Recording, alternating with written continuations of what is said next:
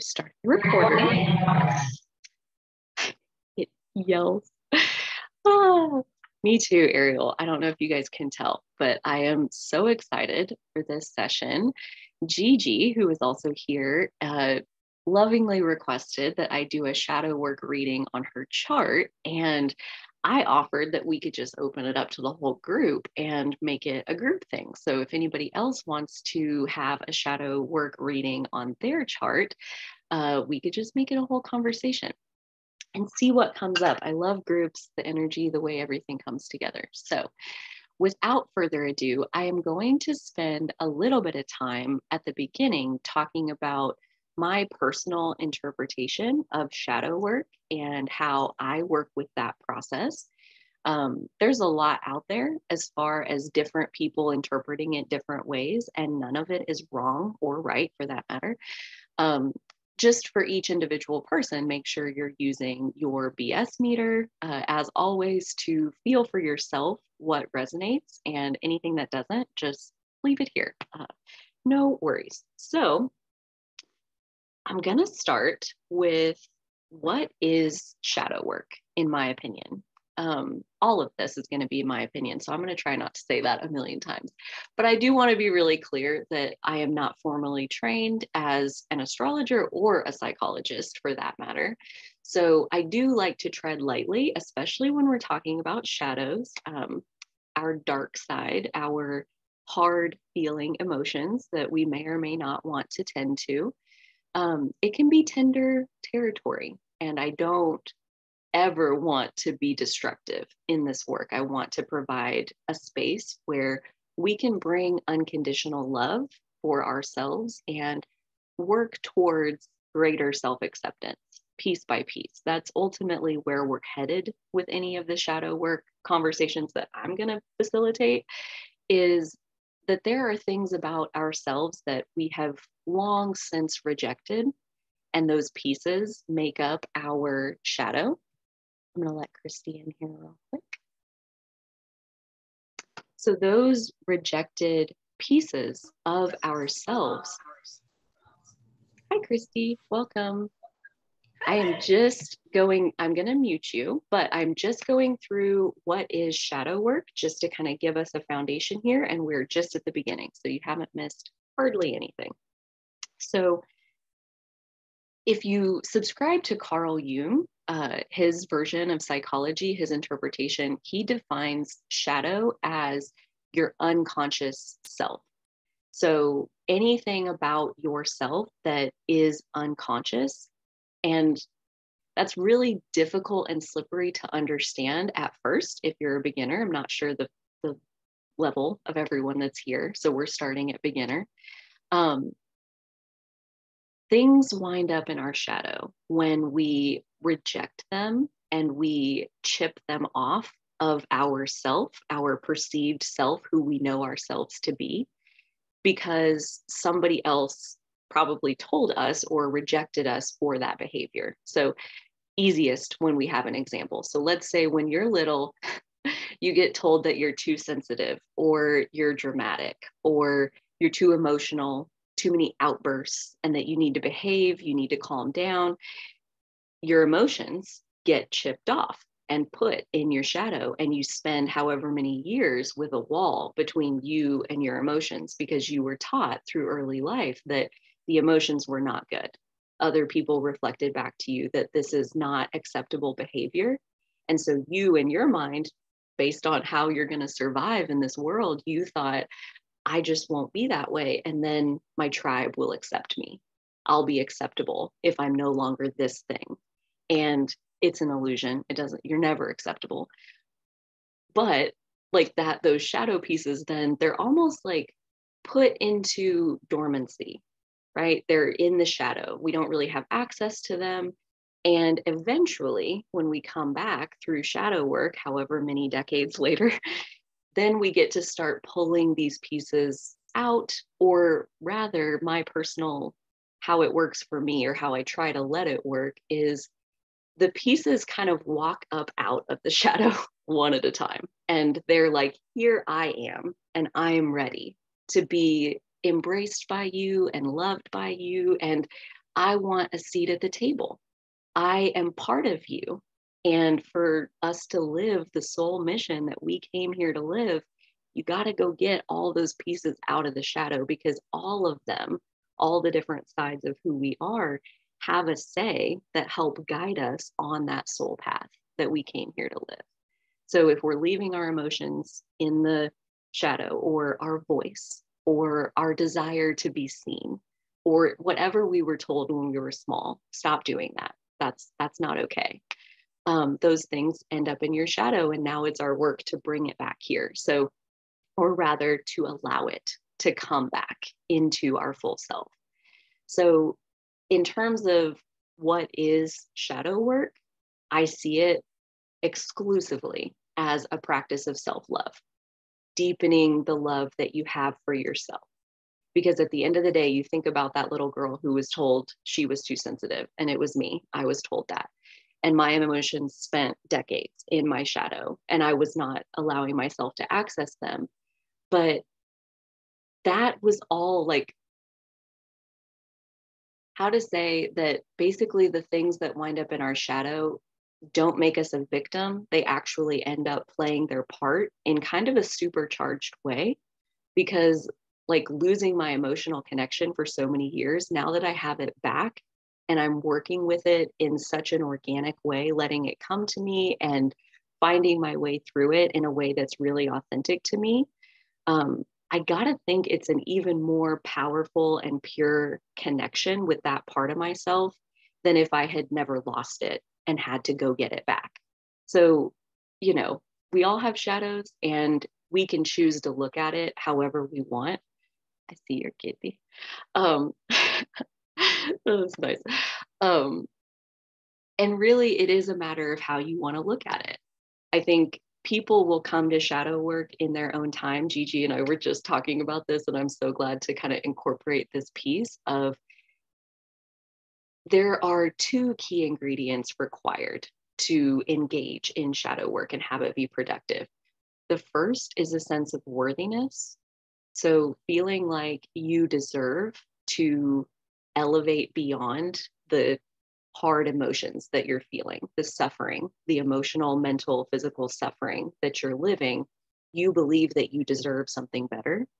And whether you believe it outright or you believe it on some deep level, like your soul knows it to be true because it is, um, there has to be that belief. There has to be a sense of worthiness. If you believe that you deserve to be punished, the universe can be as generous as you want with the punishment. So, that sense of worthiness, it's like depending on where someone is starting from. I know for me, and this is something Gigi helped me connect, is like my sense of worthiness had to come like two years along in terms of investing in just my sense of worthiness, just my self esteem needed to come up before I was ever ready to really step into shadow work.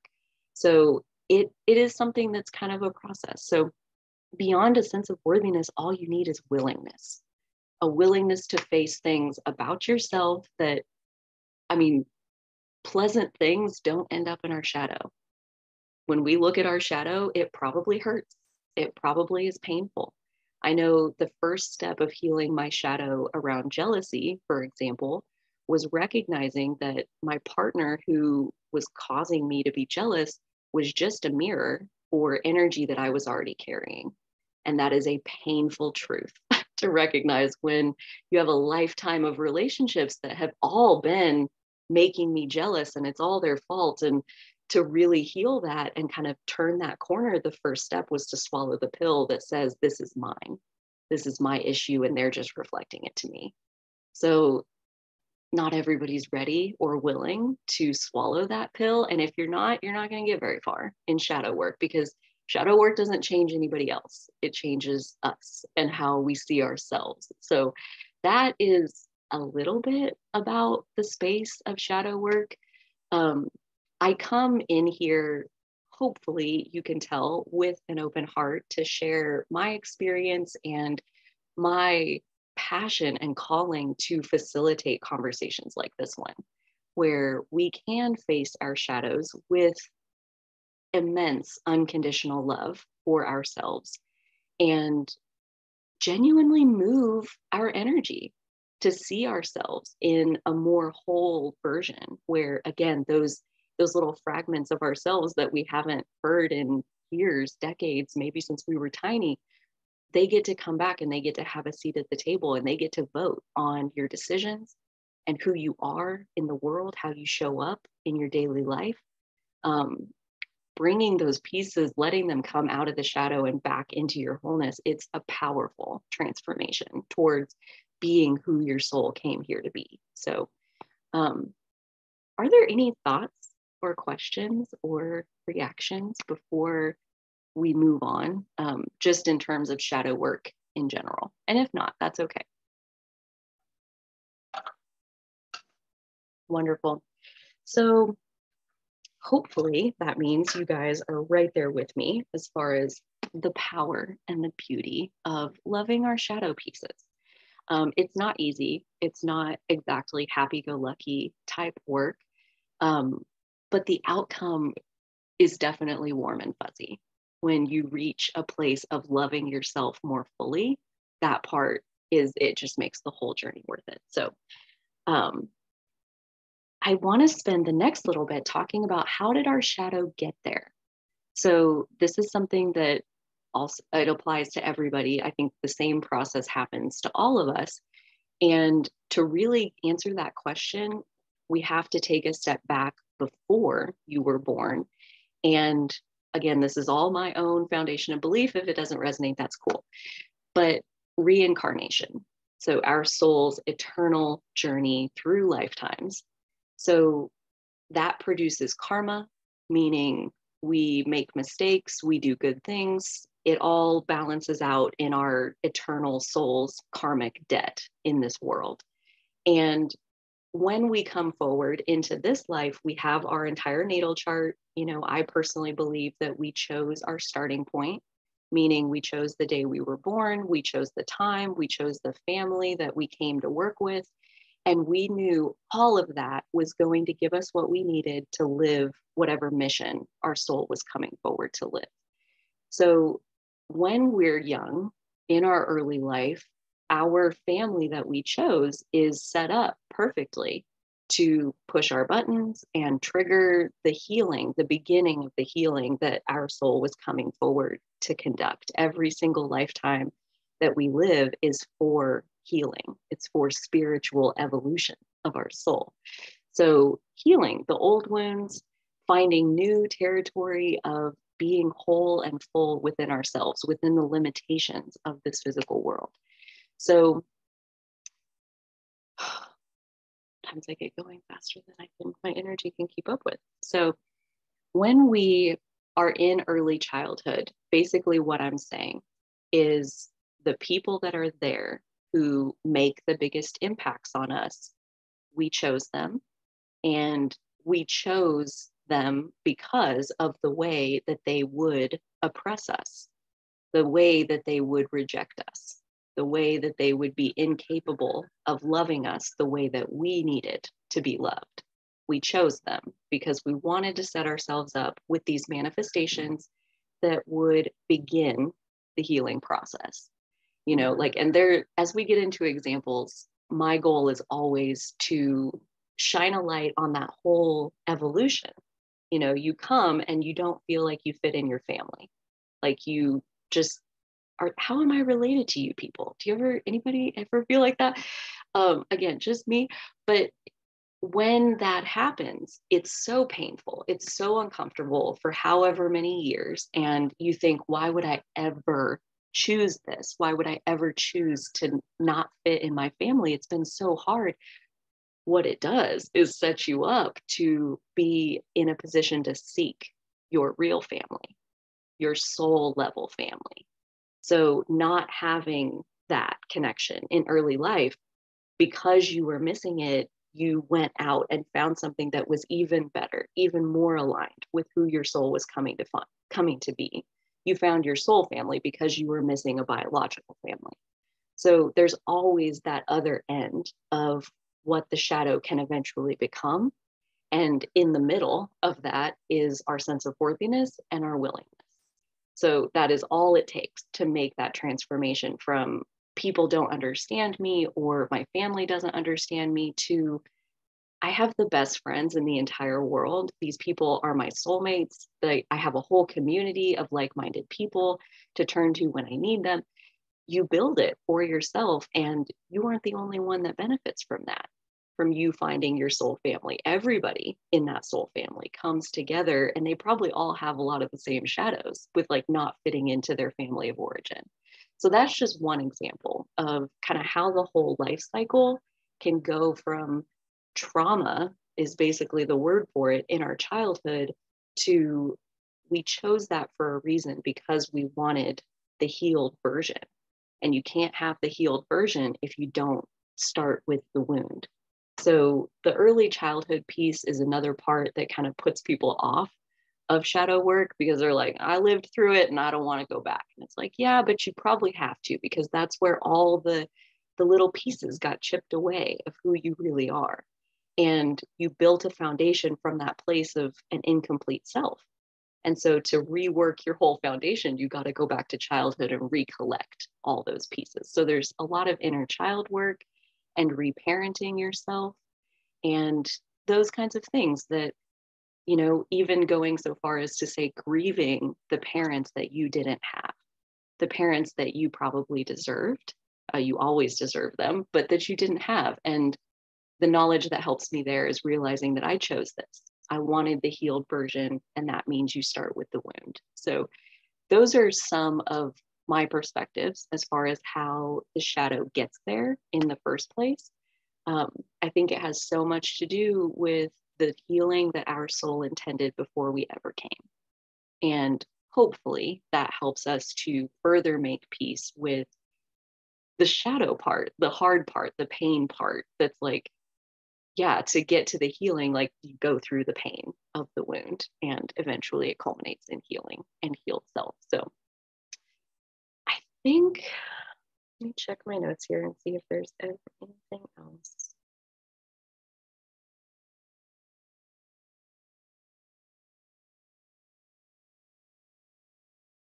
I think that's pretty good. I think let's get into specific charts uh, Gigi, do you want to go first? If someone has a pressing desire to go first, that's fine with me. Yeah, I'm open. Everybody cool? Gigi going first. Seems like seems like we're all cool. Um, okay, so I am going to share my screen. Ariel's cool. Okay, so here is Gigi's chart.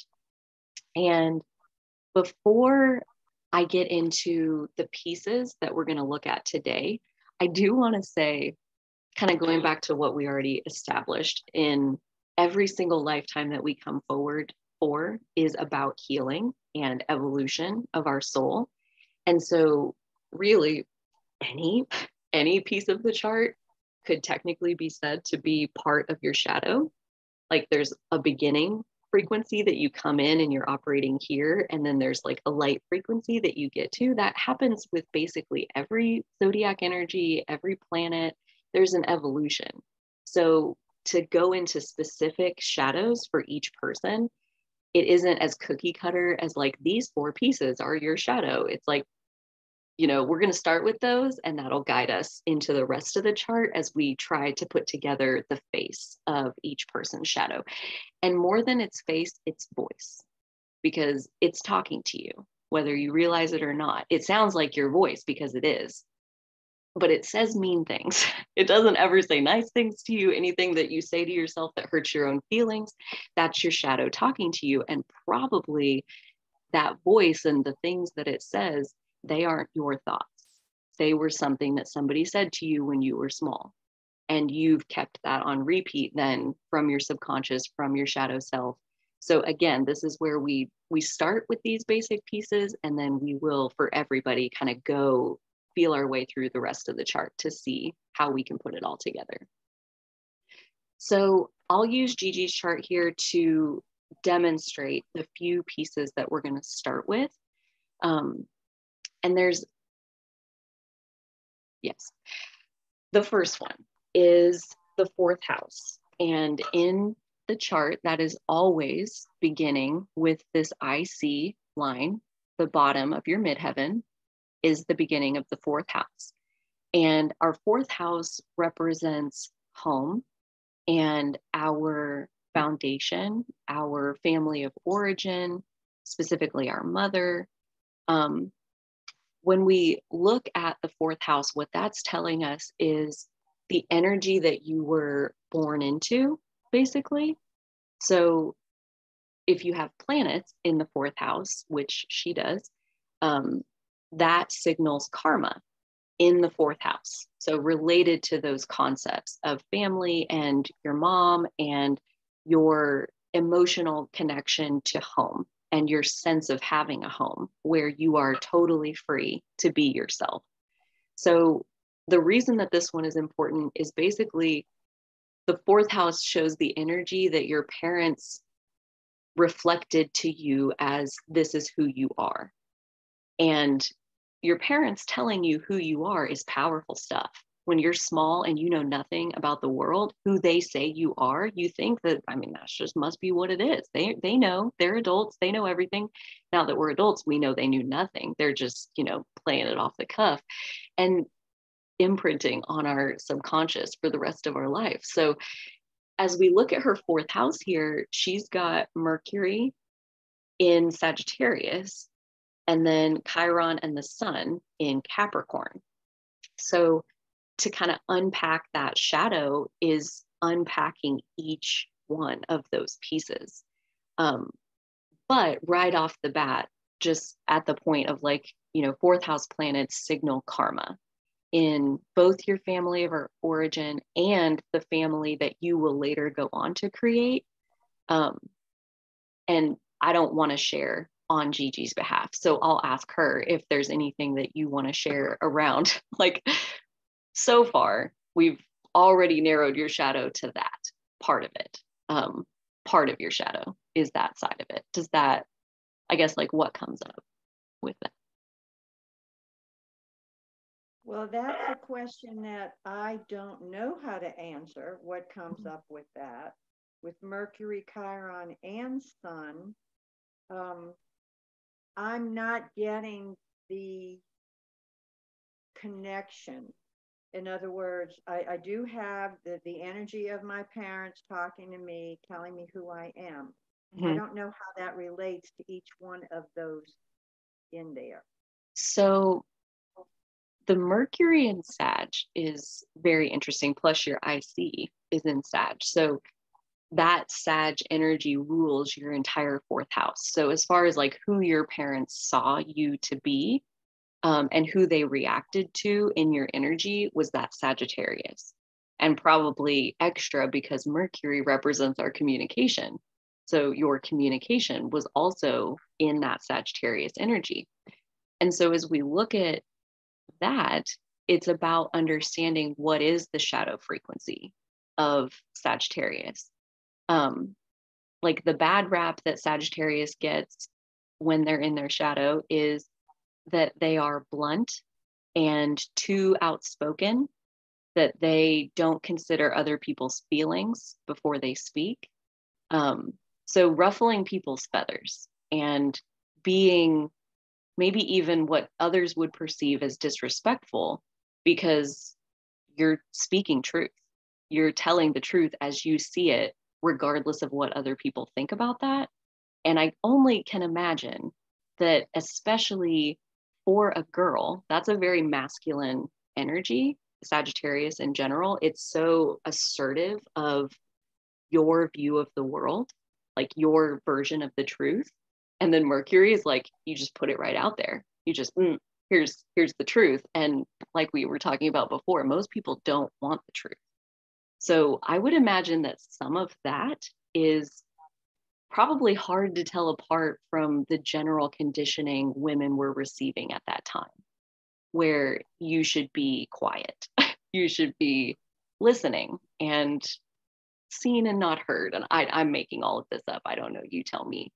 But okay. your voice is right there. And between that and the Chiron and Capricorn, which basically Capricorn is like the divine father energy, and Chiron in Capricorn means that there was basically never a genuine sense of approval from either your father or whoever the authority figure for you in that space was. And because we're in the fourth house, it also is about the mom. So it's like your parents in general never saw who you were, like your authentic self. And if they did, they didn't approve. So that's that's like the um the textbook version. And just to add the sun onto that, when you have the sun in the fourth house, you think, I'm going to be really good at home and family and all of that. But again, the evolutionary process, and especially when you have Chiron right next to it, is first your home and your family is so painful. And it's so painful that it inspires you to build your own version that does feel good to you. But it first requires like a good deal of doing what doesn't work for you. Okay, I have a question about the sun and Chiron and I want to make sure I'm understanding that. The sun and Chiron in the fourth house would automatically make my childhood painful because of those two Chiron and the sun in my fourth house. Am I understanding that correctly? I mean, as far as my opinion goes, everybody had pain in their childhood, for one. Okay. And two, Chiron in the fourth is like a disruption between you and your mom like their the bond is broken and chiron and capricorn is the bond between you and your dad so it's like ah, there's a lack of approval and there's when there's an when there's a lack of approval which you may or may not resonate with that piece um, even more so it has us scraping off all the pieces that are being disapproved of so that we can get to that sense of approval from other people and eventually, the long version of the evolution is that you no longer need that, that you have your own internal sense of home, where your safety is something that you cultivate for yourself. And you don't necessarily rely on other people or let other people pull you out of that. Okay. Um, thank you, Carly. So yeah. here's where I am with that. I am only now coming into the level of self trust, self worth, and self understanding that I am now allowing myself to create a new home life for myself now. I mean, we're talking a long time. Mm-hmm. I was born in 1953. That's a long time. That's way too long. But I just, I haven't known about shadow work. I don't know, maybe I don't know, five years, 10 years, I don't know, but I'm ready now to get into it. So going back to, to help you understand what you said and where I am with it, mm-hmm. I'm going to say, first, I'm going to say something that I have a question about, and I'm, or let me just tell you, not question, let me just tell you, I feel that Mercury at 29 degrees of Sag is not carrying much of Sag, but it's carrying a ton of Capricorn. And I say that because the Sag being too outspoken, blunt, never. I didn't, and you mentioned the word voice. I never even had a voice. I couldn't even use it. I didn't even own one. So that part I cannot resonate with. But if you take that in addition to another aspect of the um, shadow side of Sag, is that I don't consider other people's feelings. Okay, now that played a giant role, but it was reversed. And I'm telling you this because I think this is really important because the depth of what I'm getting from what you're explaining is that my mother felt that I didn't consider her feelings the entire time she she died when I was 31. So for 31 years she felt that I never considered her feelings because she expected me to do everything for her, be her caretaker, be everything to her and for her. Because my father died when I was 12. So I was the only one she had, being an only child. So she tell me that I was being so selfish. I heard that all the time. If I ever wanted to do anything like a weekend outing with a friend or something, I didn't consider how she was feeling and she needed me. So that is like, yes, indeed so. And that's mm-hmm. coming from mm-hmm. Sag. Okay, yes. Um, now, looking at Chiron and the sun, never a sense of approval from parents. Um, they did not see my authentic self absolutely positively. They didn't even see me at all. so, sun in Cappy also there, so painful that I had to build my own solidity, if you will, or safety because I never had it. There was no solid foundation for me ever. That resonates too. So to boil it all down, it all resonates very, very clearly. So I got it. I don't have any further questions on that aspect of what those are doing in my fourth house. It's like, it's just okay. It's confirmation of what I already knew. Yes. And yeah, by the time you see your shadow clearly, you realize, wow, this has been infiltrating like everything my whole life. Like it's not as dark and mysterious as it sounds in the very beginning. Mm-hmm. Um, and, you know, because we're talking about Chiron in this case, because it happens to be in your fourth house, that's the wounded healer. And the whole point is the medicine that you get good at making because of the pain that you have endured. And then you're able to help people who have similar pain to feel like they have a place of safety in the world. You know, like you've had to make it for yourself because it wasn't given to you. And that Chiron medicine paying it forward is now you can teach other people how to build it for themselves too. There's something else I want to add, which you mentioned when you were explaining, and that is it's uh, perhaps not just your family of origin, but any family um, dynamics you may have for your entire life. So I right. do want to, this is, this, I'm glad it's coming up because this is big. I want to say that it's the same thing in my own family, which now is non existent, but having a husband and two children it was the same. Um, they certainly did not see my authentic self because I didn't know who my authentic self was. Mm-hmm. And also the pain of having to build my own. I couldn't, I didn't know how to build my own family of origin, of course, because I was just a, a, child, but I also didn't know how to build my own solid family of my husband and my two children because I didn't know my authentic self. So I'm telling, I'm saying this because I think this is of utmost importance. And I'm going to say the impact this is making on me now is instead of it looking like an unsurmountable or insurmountable uh, mountain to climb to do this, I'm realizing, okay, these were the reasons why I couldn't feel safe. I couldn't feel wanted. I couldn't feel appreciated in my family environments because of this. I really feel that to be true in the depth of who I am. That's it. But now I can.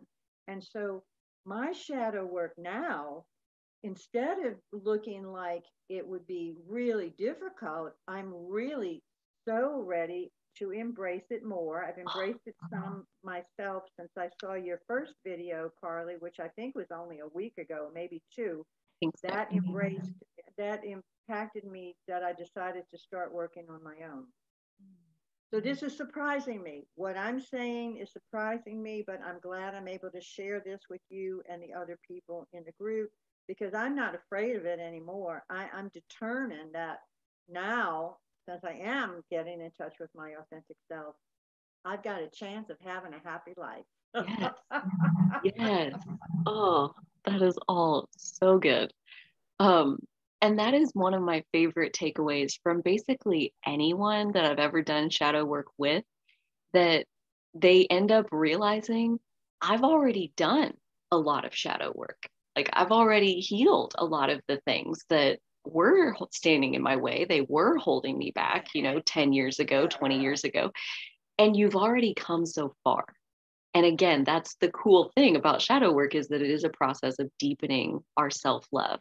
And even in this conversation, it's like nothing has changed. You know, you're still sitting in the same spot you were, but you see your own progress more clearly. And you're able to give yourself credit for overcoming painful things. Chiron in our chart, no matter where it is, like it'll be painful to get through it. And when it's in your family of origin, you're just so born into it that, like you said about not having a voice, like you didn't own one I can, I gotta think that that has something to do with Chiron and Mercury sharing the same house. Um, okay. Because Mercury and Sag, like even when it's in the fourth house, I would think your voice, your truth, your version of the truth is clear. Like it's clearer than most people's, I would imagine. And releasing that out into the world is a whole nother question. So yeah, just something to kind of play with there because it sounds like you know when we say i didn't own one it's like well yeah but everyone owns one but you're also not conscious until age three four five that you can even remember. So what you're saying what i'm hearing is that your parents had already extinguished your voice by the time you could remember. They had already done away with that. So you've had no conscious adulthood of like really owning your voice and bringing your truth forward. So that would be in the realm of shadow work, like how to continue finding your voice and tuning in to what you have to say. Because Sagittarius Mercury always has something to say, something really important. so sharing your truth with the world like that, that was supposed to happen. And that's what I'm talking about. Like it gets put put on pause or something. Like when stuff goes in our shadow, it's like like a time capsule almost like you are intentionally going without it for a certain amount of time so that when it comes back online it has a different effect. Like i don't know that's it's hard to explain without your own personal example. Mm. so that is the fourth house. That's where our parents and our family of origin reflects who they perceive us to be. And those messages that they give us in that space like we're talking about, that starts when we're a baby. So remembering who they told us we were, it's probably so normal and so natural that it's really hard to see there. Where it gets clearer is when we move up to here in our descendant and the opening of our seventh house. This is where our romantic relationships and any business partnerships that we enter into continue to reflect our shadow to us. And Gigi's is very interesting because she also has uh, Mars and Venus in Pisces in the sixth house. Um, so she identifies with Pisces a lot. And by definition, your descendant is somewhat hidden from you. And so we attract people of that descendant energy so that they can reflect it to us because that descendant energy is often misplaced inside of us and we need other people to reflect it so we can find it and ground into it. But hers i mean she's got these other planets in pisces and so she already really resonates with it. So i do wonder though kind of since you brought your husband into it um pisces in a relationship like a pisces descendant is of service to the relationship. And that's really nice and to be on the receiving end of it is a dream. But in the long run if you're not and this is where most people have to go through this part first it's like in the long run you feel like a slave. You feel confined and expected to be of service and like that's your whole role in the relationship is to be of service. And again they're not seeing your authentic self. They're not connecting with you and your soul so, like that part, you know, I know enough of your story to kind of piece it together. It's interesting because you do so resonate with Pisces, but also the Pisces shadow seems to also have its part, like from your marriage. And with no other planets in your seventh house, that's the Pisces descendant is pretty much all we have to look at. And then it is just a matter of, again, looking at the shadow side of Pisces. And that is that you can wind up the martyr or resentful because you've given and given and given and given and been of service to everyone. And then you don't feel like anybody ever came back and took care of you. Um, which that's kind of true of Pisces energy and Virgo energy for that matter, anywhere in the chart for any of us. We can become too service oriented and forget about ourselves. And that will never end well in the grand scheme of things. So the next one is the eighth house. And the eighth house is ruled by Scorpio. Um, and it's the territory of emotional intimacy and shared resources. So think about shared resources in the sense of way back in the day, cavemen and cave women, and they killed an animal and they brought it back and now they have it and they're sharing those resources. Both people's survival depends on this one resource that two people are sharing. That is a very intimate situation. There is a lot of trust required in the other person that you're not going to steal the whole carcass and go run away with it. Like you're going to let me have some. Um, that's where the trust and the deep intimacy comes into play in this eighth house space. Um, and for for Gigi, she's got her cusp of the eighth house in Aries and her Jupiter in Taurus in the eighth house. Also, that Jupiter is part of this grand trine that is part of her kite. So, her Earth grand trine is like really kind of the center focusing part of her energy. And that includes her Jupiter in the eighth house, which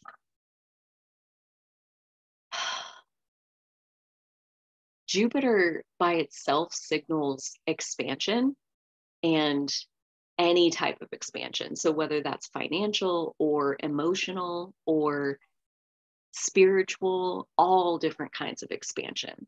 And so, I'm just feeling my way into this. And this is where, you know, shadow work and working with your chart in your shadow work is a lifelong process.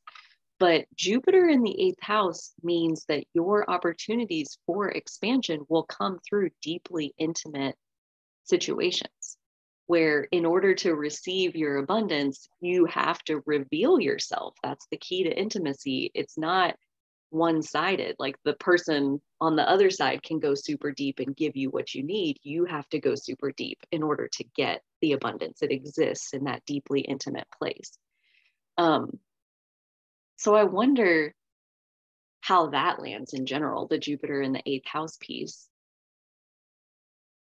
Oh, I just I just want to say what? That's yeah, perfect. and that's because I see myself, and you've already mentioned this, identifying a great deal with Pisces, and for that, that's the intimacy. That's the ability to be intimate, not be intimate, but to live in deep intimacy. That's who I am. That's where I live. Mm-hmm. And unfortunately, I find very few people who can meet me there. And that's an extremely lonely place to be. Mm-hmm. So, the expansion of the deep intimacy and the trust has been occurring forever because I am like so deep. And it's amazing that it is the Jupiter in Taurus because it's almost like a joke, is what I'm saying. It's almost like I have this to offer according to what my chart's telling me, but there's no taker. There's, no takers. I'm offering it. It's me. It's who I am. There's there are no takers, and that's where the joke comes in. Like the joke is like it's it's it's sadistic which is terrible to say but it's true i'm just telling you the truth it's- well and i do i'm so glad you offered that because it helps me pull these pieces together because the eighth house is ruled by scorpio and here you have aries on the front cusp and you have taurus taking up the rest of it so it's a water house ruled by a very intensely water sign, and you have fire and earth. So I get your inclination, especially with your Pisces descendant, to want to connect through water. But what I'm piecing together as you talk is that actually the pathway to that intimacy to get into your eighth house is Aries, which is not water, it's fire. And it's not just any fire, it's the raw, pure, physical life spark that is you. And you embodying that is the doorway into the eighth house. So you're not meant to be of service to your partner. You're meant to roar as like the warrior that you were born to be, and the taker will find her. So you're coming to it from like this, you know, the the taker eventually will get the benefit of your Pisces descendant. You know, you will live in deep intimacy with them and that will be fine, but that's not I, I do think that there's something to be said about you really can't get what's in this house if you don't embody these two energies. Do you know what I mean? Like, well, I embody the earth with no problem. That I can identify with. I've got tons of earth. The fire, not so much. That's where I'm lacking. Well, and like life, whole chart. Even the earth, um, Taurus, the highest frequency of Taurus, and especially like what we were talking about with Jupiter and Taurus, it's a matter of complete inner peace and stillness. Okay. So your mind is no longer going at all, and your body is breathing slowly. Your heartbeat is barely moving because you're so at rest. And that is the highest frequency of Taurus. And your Virgo energy probably makes it a little difficult to dip down in that restful place of Taurus. So again, these two energies of Aries like roaring with the spark of your own divine life and Taurus embodying total calm that that is how you come to the place of the intimacy that you're built for. And yeah, that's that's interesting. So intimacy in my life is the number one word. Emotional intimacy, though, that's what I say. Emotional intimacy is my number one term. Okay, that's what that's what I want most in my life. That's what I don't have. That's what I've never had. I have a Scorpio friend, female. She and I are able to share emotional intimacy with each other because we understand each other. Mm-hmm. So I'm going back to Aries, which I've always avoided my entire life. I've avoided Aries people, and um, I want to know what you're saying, is it possible for me to consider looking in the direction of Aries people and embracing them and bringing them into my life? So, yeah, like I would say that is a good takeaway from this shadow work session. That's a piece of, okay. especially when there's an energy that you know rubs you the wrong way probably yeah. that's like assignment number one where you should be going and learning to pull that back into yourself. So okay. the rubbing you the wrong way part is just the invitation to step into relationship ah. with that part of you. You're not rejecting them you're rejecting yourself. They don't rub you the wrong way. You when you're like that are rubbing yourself the wrong way. So that's where the deepening of the self love comes in. You need to learn to love your aries energy and as you do, as you're able to embody that, look at how much of your seventh house, the house of relationships, committed partnerships, 65% of your house is Aries. So, how are you going to have a big, fulfilling, all the things relationship if that's not part of your energy that you're carrying around? I didn't know that, Carly, and I thank you for telling me this. Mm. I mean, I know know my chart, but I didn't know what that meant until you just explained it to me. Well, and that's my take on it is like it really does take both to like get into the house, you need the energy on the cusp. But to fully explore what you're meant to explore and evolve in each house in each life area, I genuinely believe that it takes every single degree and minute of the house, every piece of energy that's in there is part of the terrain of working with that area of your life. So for you, relationships is a big chunk Aries. And, you know, ultimately the goal is to integrate all 12. of the signs back into our whole. Um, but this is the shadow work process of realizing Aries. Hmm, interesting. Yeah, that does rub me the wrong way. And it seems to be important to getting to this eighth house place of deep intimacy. Um, so maybe I look at that. Maybe I try to study like Aries and what is the light frequency and what's the whole point? What's the point of Aries? I mean, it really is our spark of life.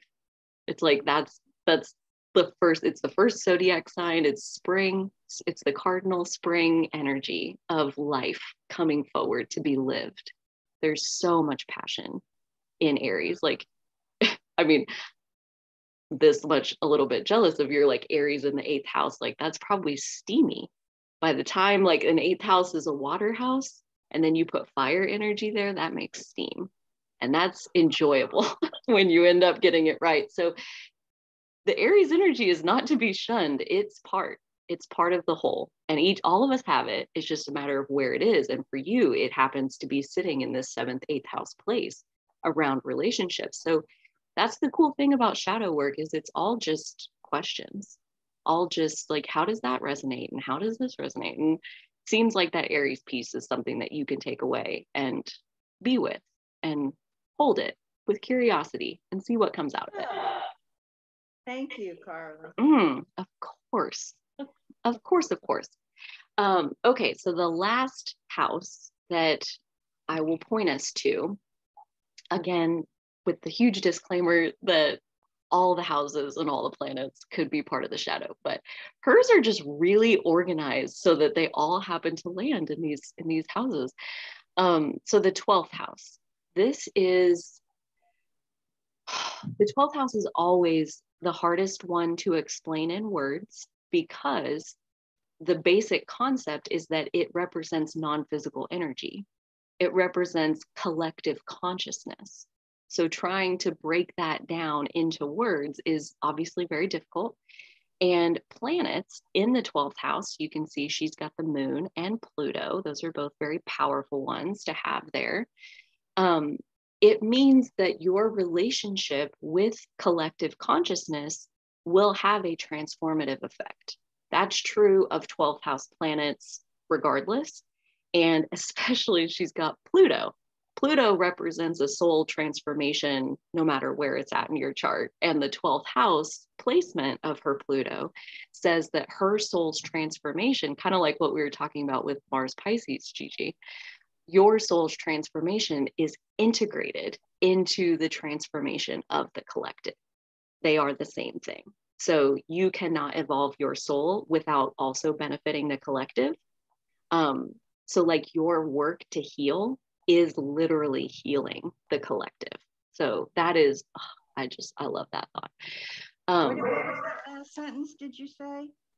You something along the lines of you can't heal yourself without also healing the collective. Okay. I think that was it. Something along those that lines. That resonates perfectly with me. Yeah. Well, and you have these these sixth house Pisces planets, which also, I mean, between your 12th house planets and your sixth house planets, you have really anchored your energy in a place of being of service.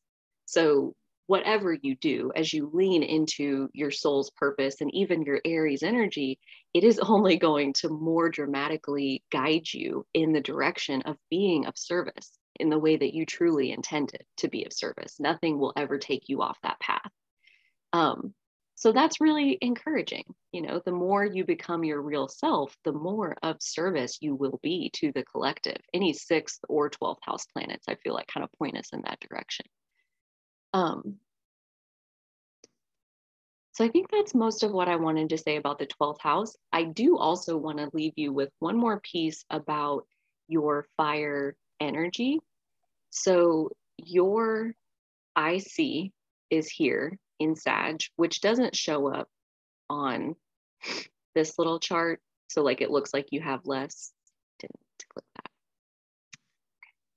that. Um, but you have the IC in Sag and then South Node and, and Pluto in Leo, and then Aries as part of your relationship energy. No planets there though. Um, that's a lot. That's that's actually a lot of fire energy. And it feels a little bit like I'm going to be poking at your shadow when I tell you that you do have fire energy inside of you, and that maybe saying that you don't makes it easier to deny your own fire impulses. So, like saying that I don't have a I don't have enough fire. That's why I'm not outspoken or that's why I don't create or that's why I don't put my art out into the world. But you you have a lot.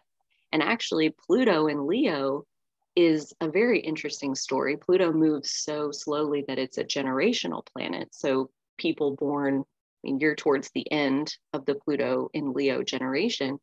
Um, but they were born into parents who only saw the value of hard work.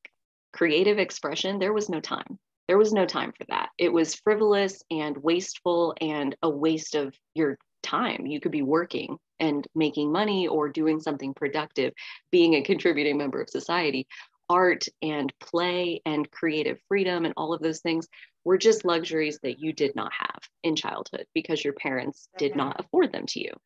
So, Pluto and Leo it's about starting off with no self expression allowed and eventually finding your way to your own personal self expression, whatever that looks like. And because your Pluto's in the 12th house, as you find your self expression, it will ripple out into the collective. That's just the way the energy is wired. So it's really for the good of everyone that you tap into your fire energy and release it more into the world. Um, scary. I know I'm doing the same thing. I'm working with my Aries energy very intentionally right now and tapping into my Mars, like we talked about. Like, I really do have to see myself and my fire energy in terms of how it is of service to the collective. And that is what gives me the courage to put myself out there because I know it will ripple out into the collective energy. Um, but that's still scary and it's a process. And what else are we doing? Like we might as well be improving bit by bit. So yes, your fire energy, it's in there. I got it. Thank okay, you. good. very helpful. Very, very helpful. I am so glad.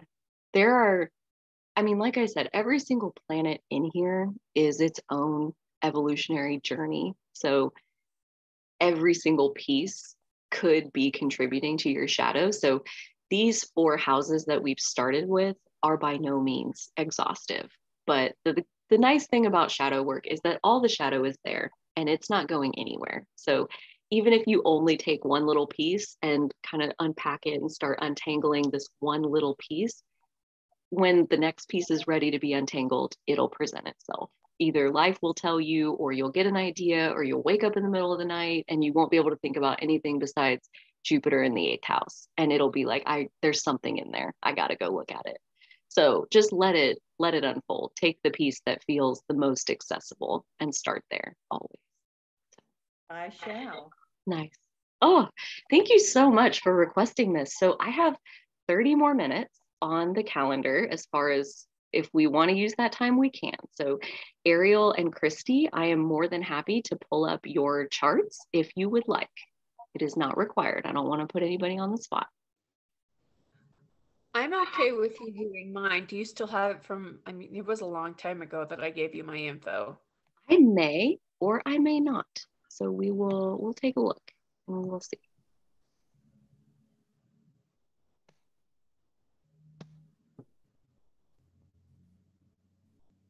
Is it this one? Yep.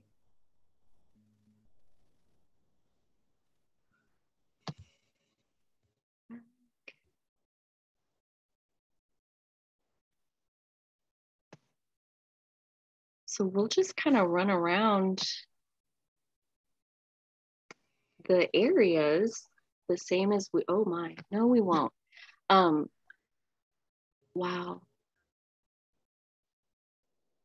So this is what I'm saying. Like you look at each individual chart and the recipe just goes right out the window because where we need to go in yours is this first house. Um, okay. And the first house opposite this north node and Pluto in this intercept. That wow. I'm a mess. No, but that's hard. this is hard. Yeah. This is a hard configuration of energy. It's challenging. It's like um, advanced level lessons that you came to practice. Um, Oh. so yeah, I- I right, like grown. Baby steps with my shadow work right now. Okay. That's cool. I'm like I've, known about shadow work for about two years, and Mm. I I I I'm trying really hard to sit with things when they come up, and Yes.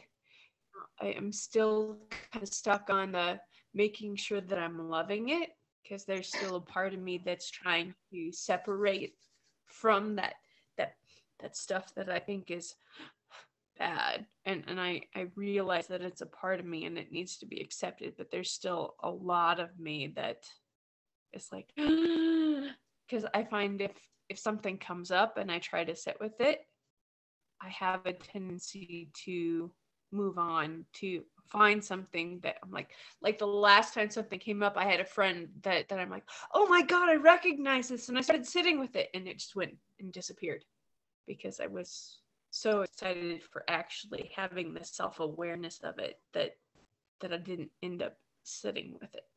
So Well, and yeah, it's it's a work in progress all the time, you know.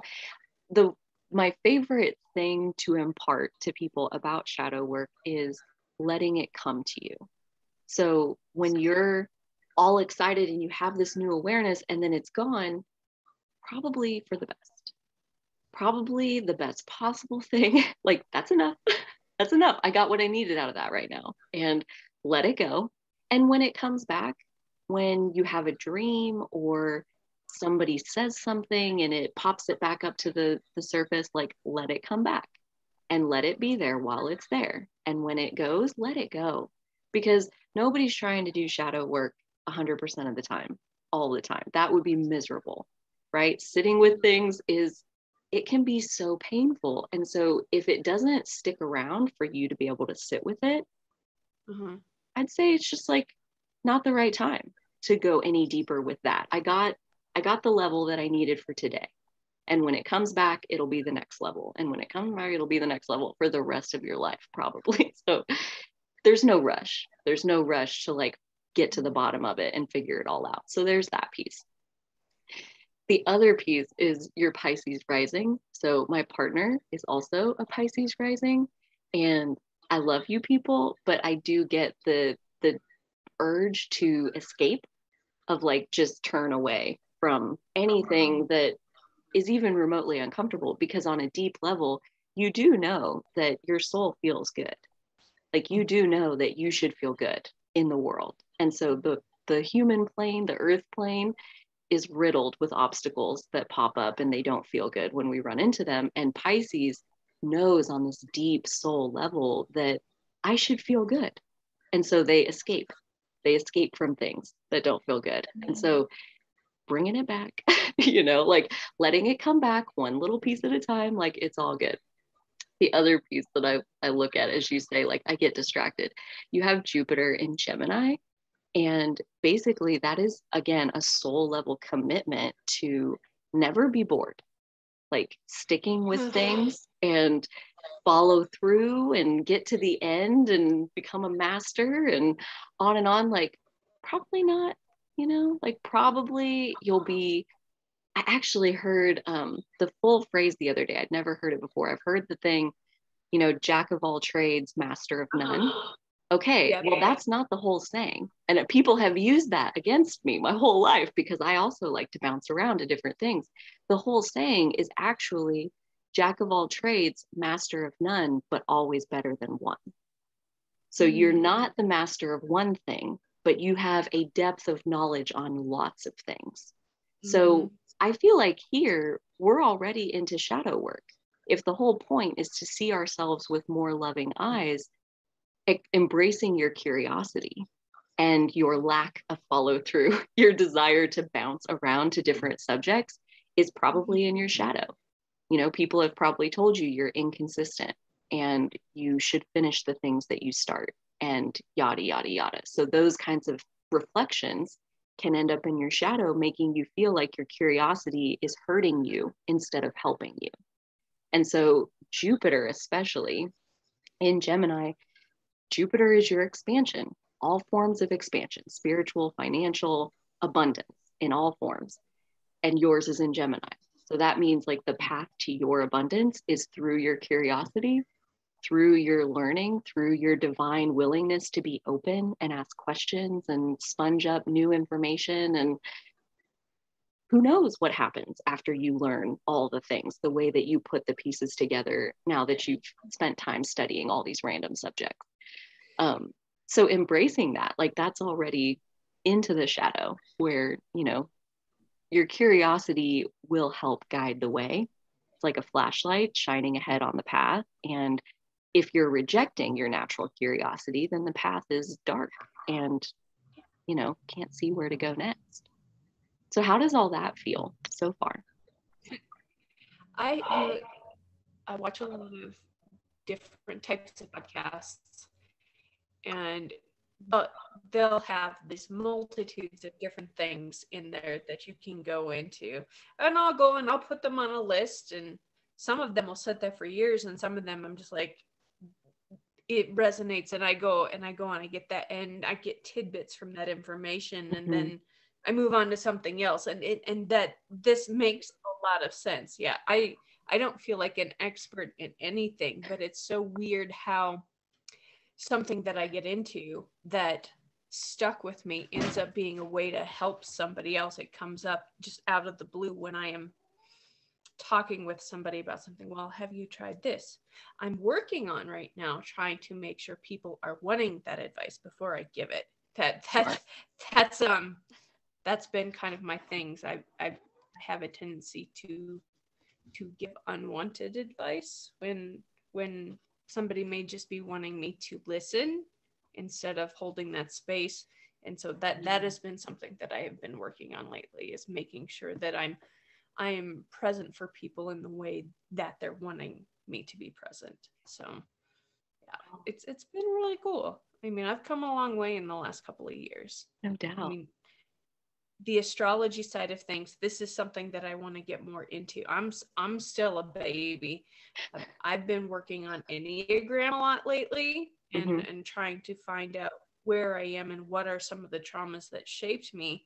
And it, you know, it's i feel like it's one of the more complex personality typing systems but the astrology stuff this is like like a whole nother level it's a language obvi- obviously a language from another planet at this point but agreed there's so many things to learn and associate with it's a whole system no doubt about it yeah um so I feel like I I do need to come back to this, the first and seventh house. Um, okay. So the I think the reason that I want to talk about it is because I have a very similar configuration with my Aries energy, where mm-hmm.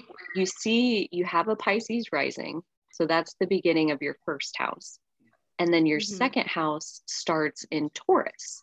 So that means Aries isn't on the cusp of any of the houses. So you see, like it is completely in the middle of your first house. And mm-hmm. you can read that like it's submerged, it's like pushed down, and it belongs. This is the part that I've only recently come to.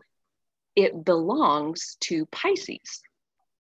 It's like Aries isn't its own energy, with the way it is in your chart here, it's like down below and Pisces is the surface. Pisces is the opening to your first house, and then Aries is down here. So by the time Aries comes up out, it's wrapped in Pisces. They're like together as one thing. So as you're talking about being there for people and being present for people, um, that's Pisces the ability to listen and to feel into like where is this person and then pisces is also responsible for like being of service to the collective in the way that they need you to be of service and then your aries energy is part of that so it's like your pisces is like supercharged compared to most people's Pisces energy because yours also Mhm. includes all of this Aries energy. So when you go to be of service, it's a very powerful expression that may uh, like you said like maybe not everybody's ready for that. Because as you come with your self-expression it's like i am of service but it also has like this huge aries energy behind it this engine of life force behind it. And it's like it probably is like a tidal wave of energy moving over people. Um how does that told intimidating a lot. It was because I'm I've been told I'm intimidating a lot. And that that makes sense because if I'm if I'm trying to be helpful and I'm potentially bringing something to our, their awareness that they're in no way ready to recognize, I can see how that's massively intimidating. Yeah. Yeah. So this is where, you know, this level of awareness helps us to understand the reflections that we've gotten so far. Mm. Like, okay, yeah, I can see why people think I'm intimidating. I have a lot of Aries energy right up in your face, like right when you meet me. But here's the thing you came with that energy on purpose, in my opinion. We chose our starting point, we chose it all. So you made it like this. And that, you know, accepting that is maybe a lifelong process. But I do think that there are people in this world who will think your energy is perfect. Hmm. You know, like your style of however you approach life and you put yourself out there and you express yourself, you make your offering of service into the world. Some people are going to resonate with exactly the way you do it. They're going to say, This is the best thing I've ever seen in my whole life because it's your authentic expression and it's not going to be for everybody. Like, that's just part of that. Um, this is also kind of taking us off track of the recipe that I just gave you, but we look at Saturn. Saturn is its Uh-huh. own evolution, and you have Saturn in Leo. And the short version of that is that Saturn wants you to learn that your expression is for you. It's not for anybody else. Your creative authenticity, your creative expression out into the world is for the satisfaction of doing it. You're making art because it's fun to make art, not what people think. And chances are, with Saturn and Leo, you're going to go through the first part of mm-hmm. people not being a fan of what you're doing. And the point is, don't let that stop you.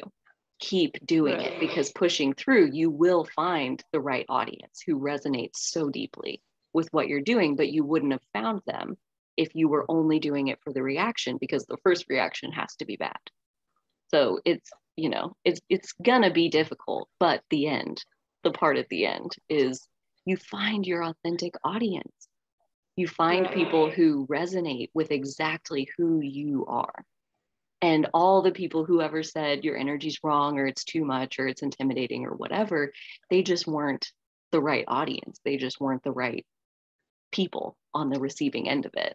And that's okay. And that's where discernment, like what you said, like you're practicing only giving it when it's the right time, when it's the right, Right. setting, the right person. Maybe they did ask for it specifically, you know, all of those things. Setting yourself up to keep your wisdom to yourself unless somebody specifically wants to know what you know and express it in ways that feel authentic. Like I have a I have a a desire to help that's very strong and I can be guilty of smothering people with my help. Like they're like, get off me. I don't need your help. I don't want your help. Um, and so I channel all this extra helper energy that I have into making YouTube videos, into making podcasts, because it's me offering my help out into the world without needing a specific person to be the receiver of my help. So it kind of takes other people out of the equation and lets you just offer what feels good to you. And then it doesn't really matter if people like it or not because you had fun making it. So all of that kind of wraps together, I think, in your shadow, depending on where you're at with all of those pieces. yeah it, it took me a long time to to get to the point that i wasn't just like well you should i was shooting a lot of people a lot yeah. of shooting going on and and now i you know even even my sister you know it, growing up she was always very reserved and easy easy to take advantage of and i was on I, I was shooting on her a ton and mm. you know in in our personal growth over the years she has finally gotten to the point where she she has the ability to tell me that I need to stop shooting on her. Oh, and good. sometimes yeah. just it's just a look that she gives me.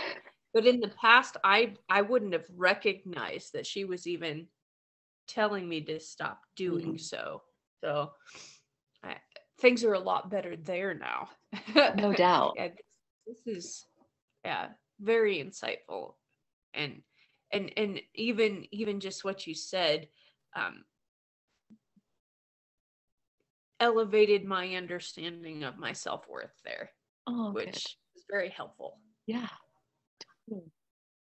and i think one thing i want to add is when you're shooting people there's a good reason for that a pisces rising is highly intuitive really a virgo rising is too but not quite as openly as a pisces rising where like your sense of a person's energy and the truth of every level of their energy, your ability to like merge auras with other people, like when you're saying you should, it probably is the right answer. You know, like the fact that people don't want to hear it doesn't make you wrong. You can still be right, but keep it to yourself, you know, and set yourself up in a situation where then you have people coming to you who are saying, please merge with my aura and tell me, tell me what you see.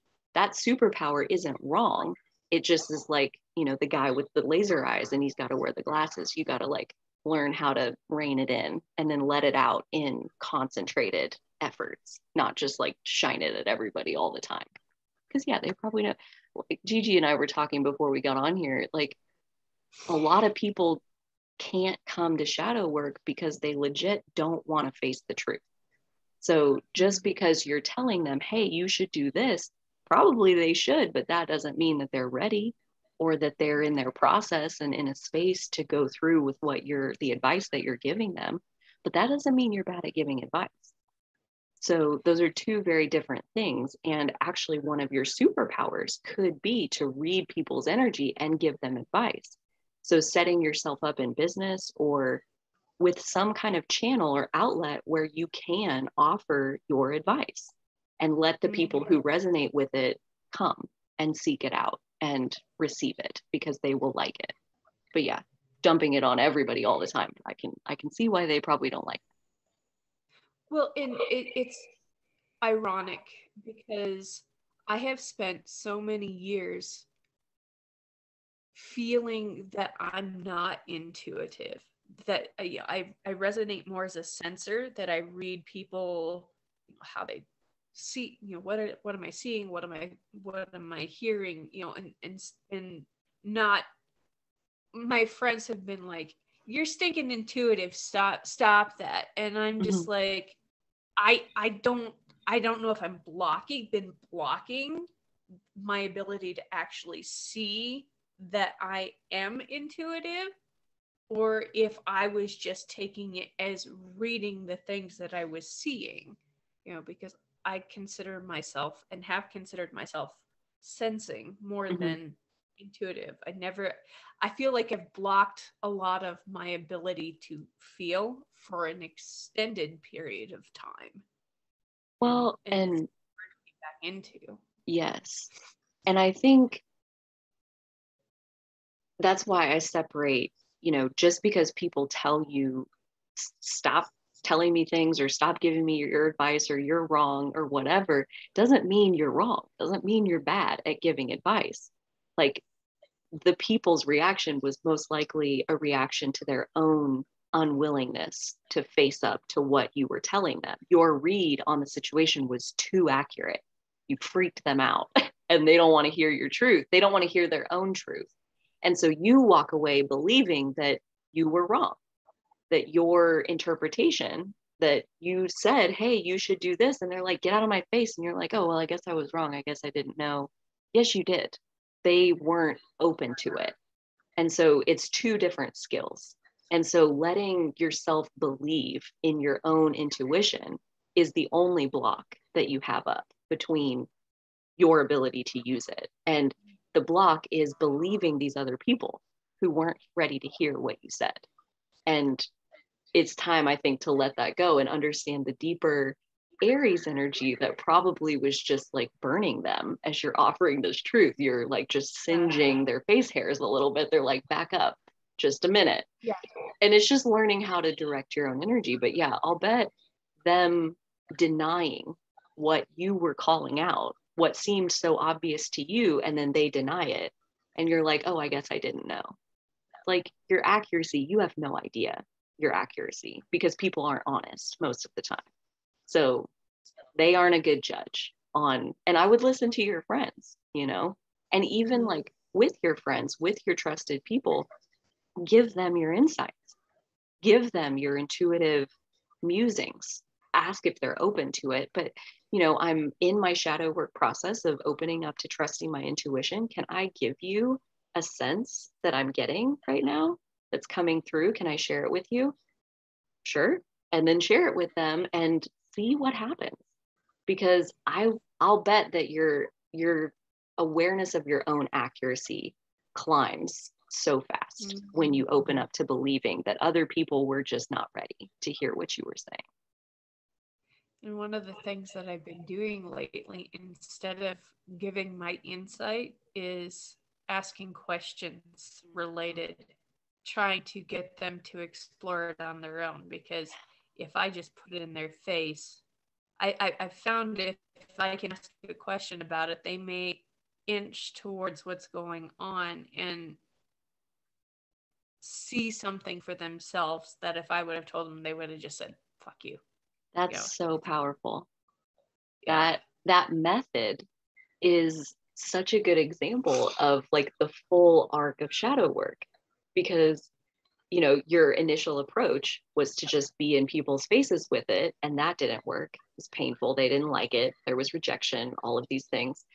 And now you've developed this other method that you would not have come to had your in their face approach worked. You never would have learned how to question people to like give them little breadcrumbs to follow so they can find their own awareness.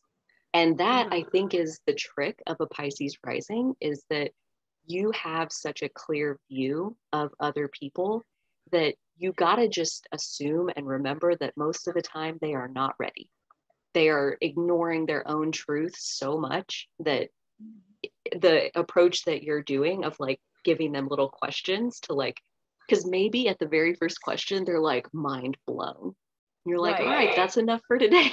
like, I'll let you sit with that for a couple weeks and I'll be back with the next question. Uh, spoiler, there's 98 more, but they're not ready, you know, and let them not be ready. That's okay.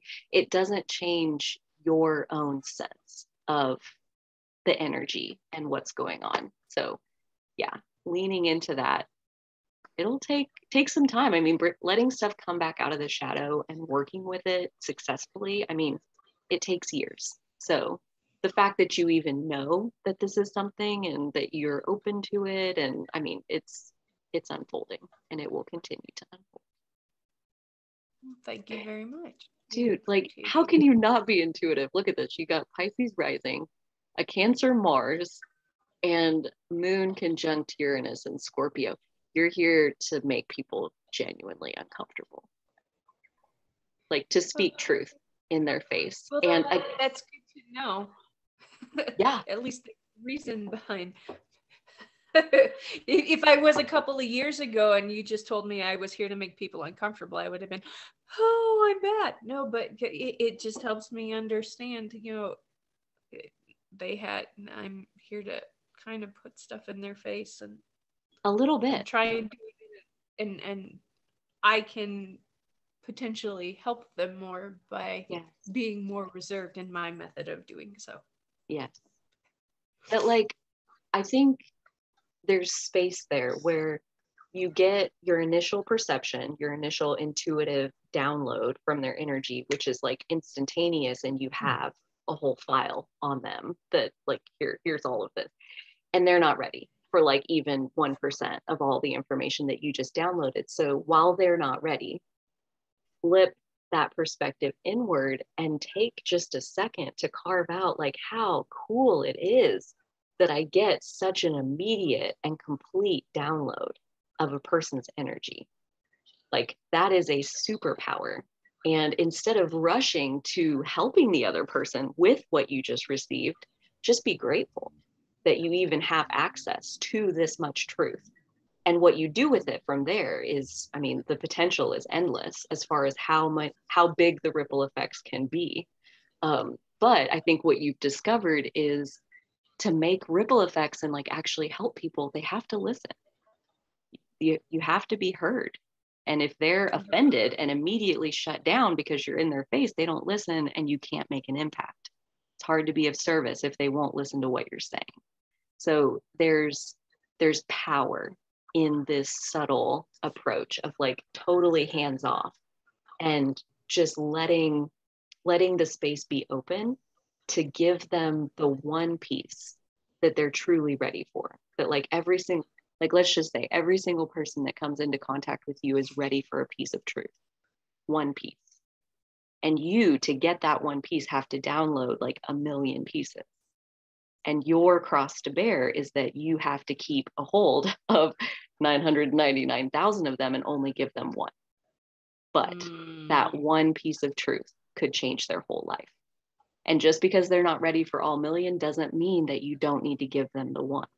But figuring out how to soften your approach so that they will listen will have them receiving the one piece of truth and walking away with you having made an impact and they won't ever know about the 999,000 truths that you know that you didn't give them but you'll know and you'll appreciate the level of your talent and your skill and what your soul came here to do Awesome. Thank you. Awesome. I know. It's so wonderful. I love this space. I genuinely love working with people's shadows and helping reframe things so that mm-hmm. we can see it with kinder eyes because nothing has to change for us to shift our perspective and see ourselves with more love as we as we really are so thank you for your energy both of you in this space today um, I will ask now that we're at the end if either of you is opposed to me sharing this YouTube or this video on my YouTube channel. No.